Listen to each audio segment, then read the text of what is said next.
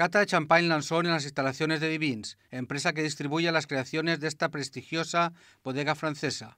Para ello contamos con el máximo especialista de la casa, el brand ambasador de Lanzón, Jean Closet. Es nuestro corazón de gama, nuestro caballo de batalla, digamos. Es un vino que representa muy bien a la marca, ¿por qué? Porque bueno, realmente es un, es un vino que lleva 100 más de 100 crus diferentes, 100 crus diferentes lleva 50% de uva Grand Cru y Premier Cru, lleva 35% de vinos de reserva de estos fudres que tenemos. Y bueno, lo que, lo que hace especial eh, los vinos de Lançon es que nosotros no hacemos la fermentación maloláctica. No sé si ya saben ustedes lo que es más o menos la fermentación maloláctica.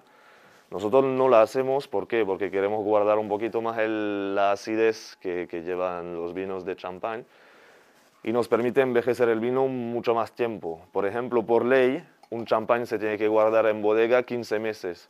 Nosotros por lo menos eh, lo guardamos cuatro años antes de, que salga al mercado, ¿vale? Y se van a dar cuenta que después de cuatro años, pues esa acidez eh, se vuelve muy buena, se vuelve muy fina, la, la burbuja está muy bien integrada, muy fina también.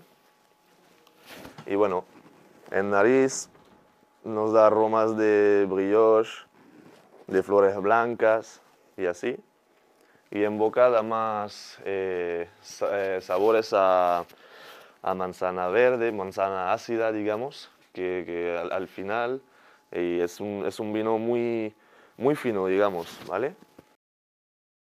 Pues es un, es un vino de aperitivo y así, pero bueno, también marida muy bien con comida. ¿Por qué? Porque lleva los champanes llevan propiedades de vinos tintos, entre comillas, grandes, porque, bueno, por el, realmente las uvas que lleva, lleva las propiedades de, de vino tinto. Nosotros mayoritariamente trabajamos con Pinot Noir, ¿vale? que es la uva, una de las uvas rojas, y también trabajamos con, eh, Pinot Meunier, que es la segunda uva autorizada.